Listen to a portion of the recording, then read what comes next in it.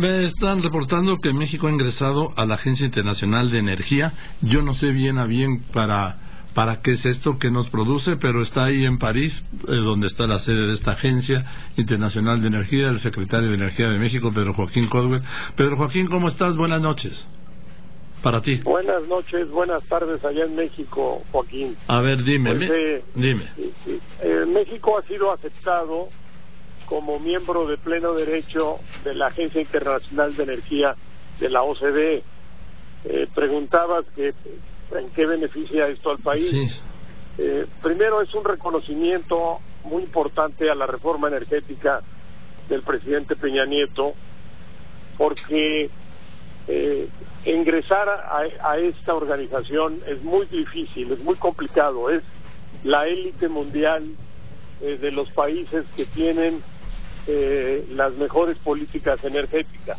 Entonces, para ingresar tienes que pasar por un proceso de evaluación internacional donde 11 países eh, analizan las políticas energéticas y determinan si, tus, si estas políticas públicas se corresponden con las mejores prácticas internacionales, si tus regulaciones y tus estándares ambientales también eh, responden a exigencias internacionales y sobre todo si tienes un ambiente que le dé certeza y seguridad a la inversión en el sector energía.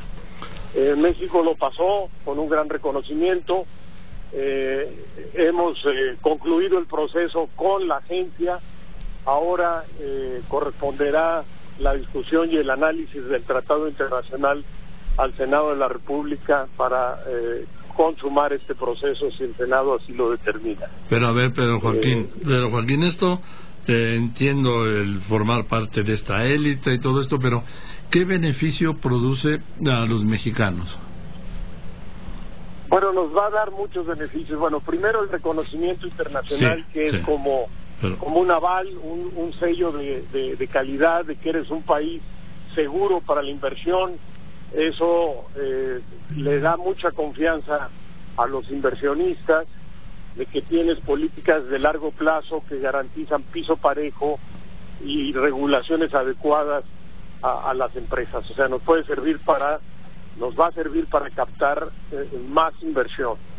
Por otro lado, nos da acceso también a asistencia técnica sobre eh, las mejores prácticas en materia eh, de eficiencia energética, de transición a las energías limpias, de fomento a las actividades eh, energéticas fósiles. Entonces, es un caudal de información muy importante de lo más actualizado que hay en el mundo. Ahora, eh, los hechos en lo práctico, ¿para qué nos sirve? Para tener una especie de sello de calidad que manda la señal de que eres un país seguro en inversión. Bueno, eso es muy importante. Eso, eso es lo importante. Eso, eso nos, nos le, le, le, responde a las a las a las a los inversionistas que es un país llamémoslo así desarrollado en materia de políticas energéticas. Bien. ¿Y esto lo tienen que aprobar el Senado y luego ya?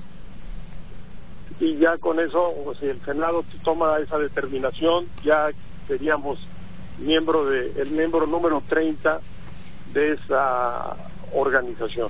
Bien, Pedro Joaquín, pues muchas gracias por contestarme el teléfono esta noche en París. Muchas gracias, Joaquín. Muy amable. Hasta luego, buenas noches para ti. O sea que eh, México ha ingresado a la Agencia Internacional de Energía. Es el primer país latinoamericano que lo hace.